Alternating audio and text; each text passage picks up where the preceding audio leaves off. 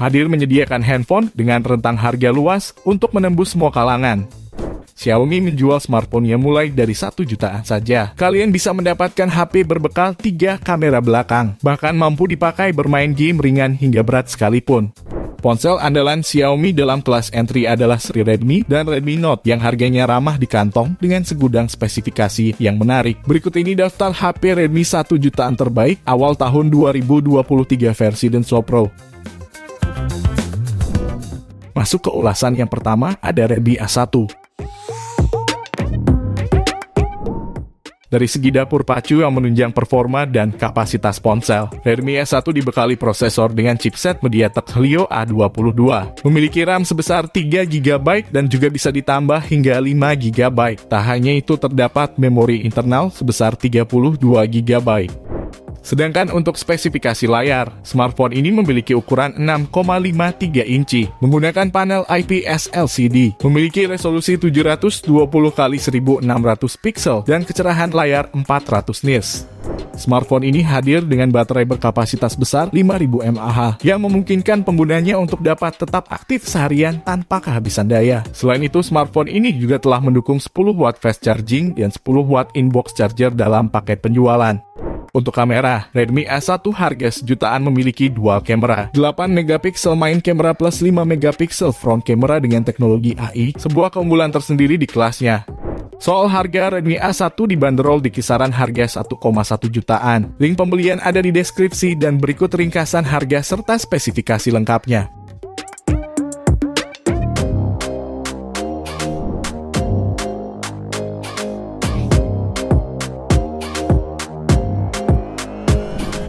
Lanjut yang kedua ada Redmi 9A. Melengkapi jajaran smartphone entry levelnya, Xiaomi secara resmi telah meluncurkan Redmi 9A di Indonesia. Perangkat yang satu ini hadir dengan harga yang murah, namun memiliki spesifikasi hardware yang menarik di kelasnya.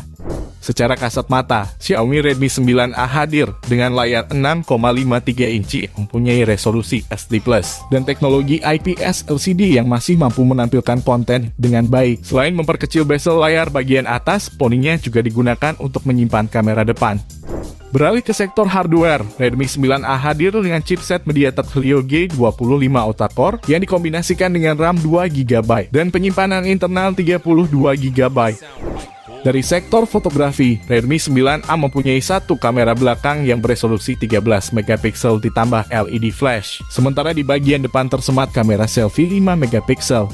Smartphone yang satu ini mengandalkan baterai berkapasitas baterai 5000 mAh yang diklaim oleh Xiaomi mampu bertahan lama. Jika kalian tertarik membelinya, Redmi 9A dibanderol seharga 1,1 jutaan. Link pembelian ada di deskripsi dan berikut ringkasan harga serta spesifikasi lengkapnya.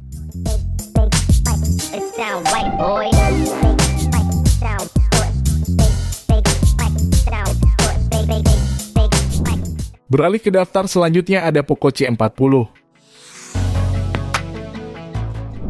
Pada sektor mesin Poco C40 cukup powerful dengan dukungan chipset JLK JR510. Chipset ini memang sangat jarang ditemui di Indonesia karena baru pertama kali ditemukan pada smartphone Poco C40 ini. Ditemani dengan memori berkapasitas 3 per 32 GB dan 4 per 64 GB.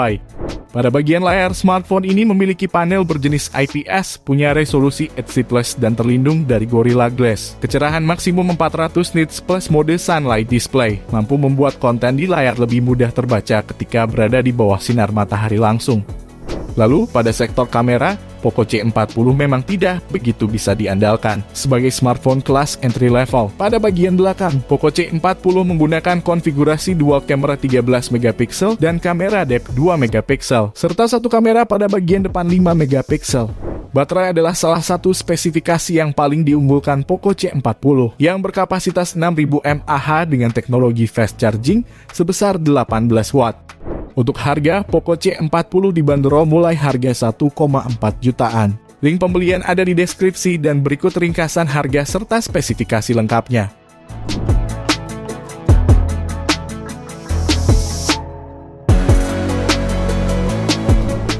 Lanjut yang keempat, ada Redmi 9C. Untuk menunjang segala aktivitas yang dilakukan. Redmi 9C memiliki dapur pacu yang ditenagai oleh chipset MediaTek Helio G35 octa-core yang diproduksi melalui fabrikasi 12 nanometer. Menemani chipset tersebut terdapat RAM 2 GB dan penyimpanan internal 32 GB untuk kebutuhan aplikasi masa kini. Beralih ke bagian depan, Redmi 9C hadir dengan layar berukuran 6,53 inci yang nyaman untuk berbagai kebutuhan multimedia. Bobotnya terbilang cukup ringan yaitu 196 gram. Untuk layarnya menggunakan panel IPS LCD dengan resolusi 720 x 1600 pixel. Sementara di bagian belakangnya, terdapat modul kamera berisikan lensa utama 13 megapiksel, lensa makro 2 megapiksel, dan lensa kedalaman 2 megapiksel, yang dipercaya dapat memberikan foto berkualitas ketika pengguna ingin mengabadikan momen penting. Untuk harga, Redmi 9C dibanderol seharga 1,5 jutaan. Link pembelian ada di deskripsi dan berikut ringkasan harga serta spesifikasi lengkapnya.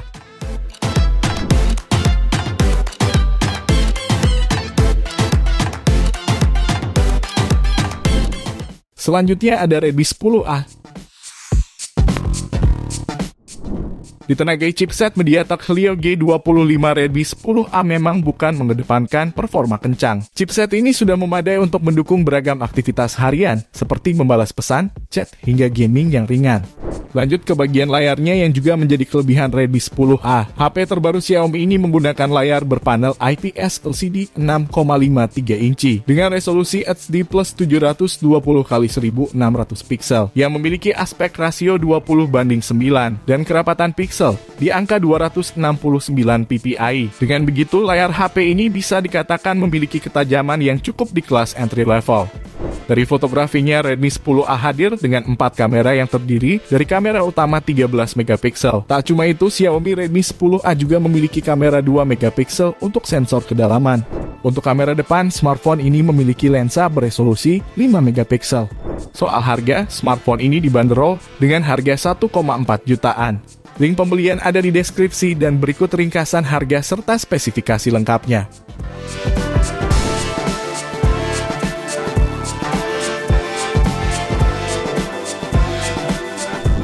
Lanjut ulasan yang keenam, yakni Redmi 10C. Hadir dengan layar IPS LCD berukuran 6,71 inci dengan tampilan resolusi sebesar 720 x 1650 pixel serta refresh rate 60 Hz. Dengan berat 190 gram, layarnya memiliki prosesor octa-core dan tentunya dilindungi Corning Gorilla Glass. Ngomong-ngomong soal dapur internalnya, Redmi 10C ini dibekali chipset Qualcomm Snapdragon 680 dengan fabrikasi 6 nanometer dengan penyimpanan RAM 4 GB dan penyimpanan internal 64 GB sampai 128 GB.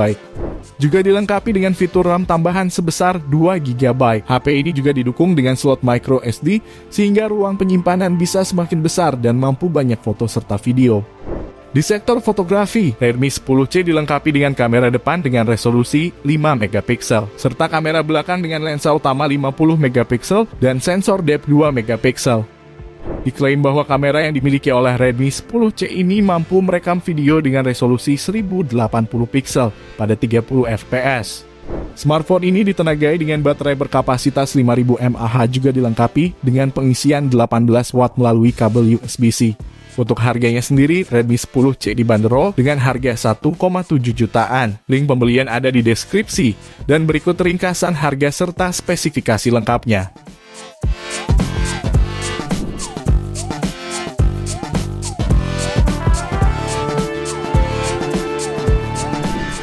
HP selanjutnya ada Redmi 10 2022.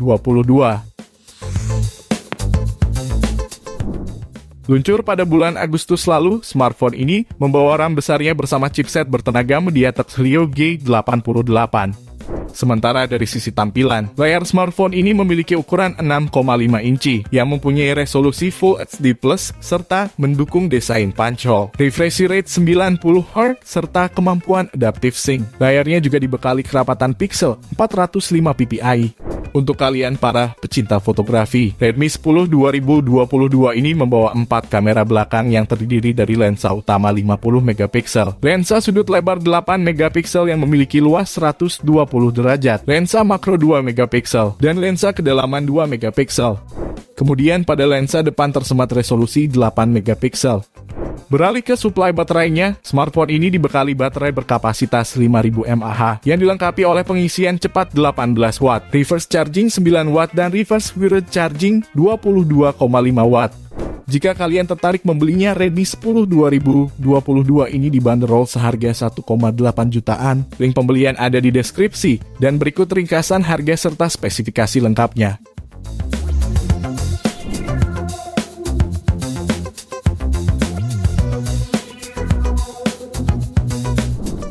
Itu dia jajaran daftar pilihan terbaik HP Redmi 1 jutaan edisi pilihan awal tahun 2023 versi Denso Pro.